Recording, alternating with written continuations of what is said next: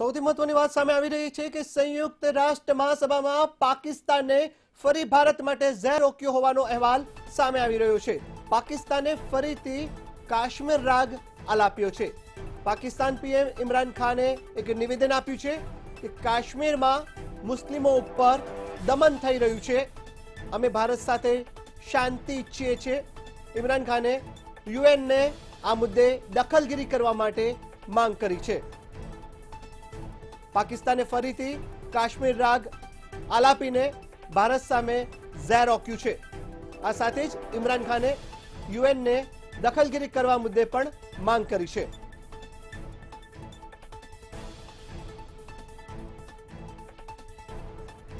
સંયુક્ત રાષ્ટ્ર મહાસભાની જો વાત કરવામાં આવે, તો તેમાં પાકિસ્તાન તરફથી નિવેદન આપવામાં આવ્યું અને જેને લઈને મહત્વનો મુદ્દો રહ્યો, ફરીથી ભારત સામે પાકિસ્તાને ઝેર ઓક્યું અને કાશ્મીર મુદ્દે ફરીથી રાગ આલાપ્યો છે.